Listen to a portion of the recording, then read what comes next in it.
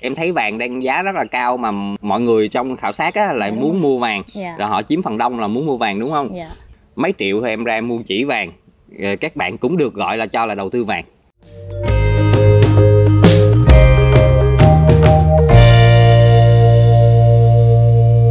Anh ơi em mới thấy ờ, theo cái thống kê của VTV á thì năm 2024 thì sẽ có 40% số lượng người được khảo sát sẽ là đầu tư về vàng. Thì anh nghĩ sao về cái vấn đề này?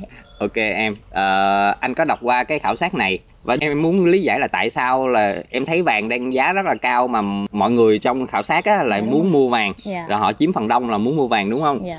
thì nó có vài cái hiệu ứng như thế này anh chia sẻ ngắn thôi Ừm, cái thứ nhất á là cái số lượng người khảo sát á, thì cái biên độ tuổi nó nó nó nó rộng nhưng mà các bạn trẻ là chính chính vì vậy các bạn trẻ bây giờ Ờ, mấy bạn không có hiểu nhiều về các cái lĩnh vực đầu tư khác.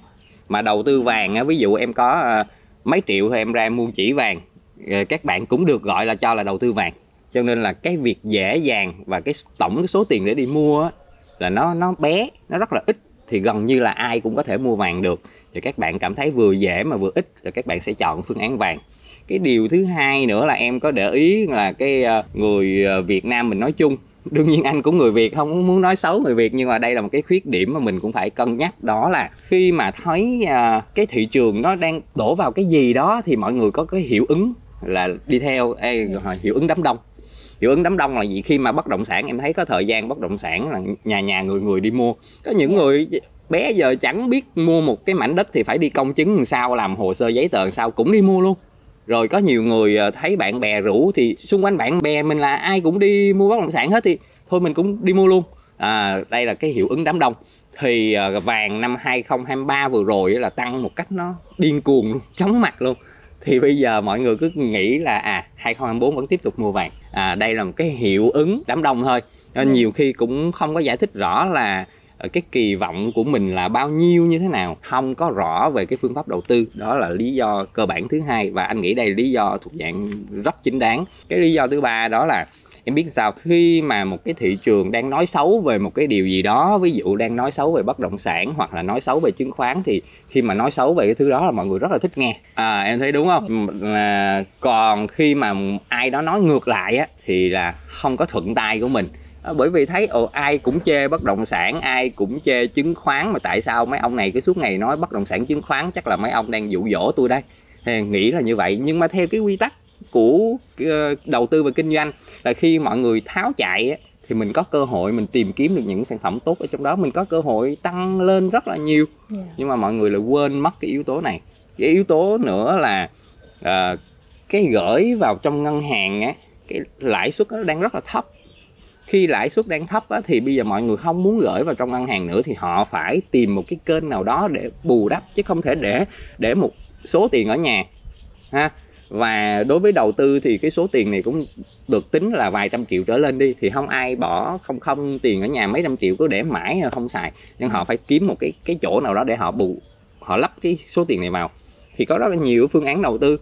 Nhưng bây giờ tạm thời họ thấy là à, mọi người đang sợ bất động sản là này nọ cái kiểu đúng không thị Dạ. trường đang ảm đạm cho nên là thấy thấy thằng bạn thứ nhất của mình không mua bạn thứ hai cũng không mua bạn thứ 10 nó cũng sợ bất động sản luôn hay mình nghe những cái câu chuyện ở trên mạng là bất động sản đang đóng băng đang vỡ nợ rồi suốt ngày mấy ông môi giới nói là à, siết nợ đến nơi rồi cho nên là phải à, bán nhà trong nước mắt ví dụ kiểu vậy nó giật tít lên. Dạ. rồi bây giờ mình đâu có coi hết mình đâu biết phân tích đâu mình bị một cái hiệu ứng nó lôi kéo. Và cái điều thứ tư đó là cái gu của mỗi người có thể cái gu đầu tư vàng trước đây mình thấy ai đó đầu tư nó trúng 2023 đầu tư nó trúng à, mình cũng mong muốn được trúng như người ta nhưng mà mỗi thời điểm nó sẽ khác nhau.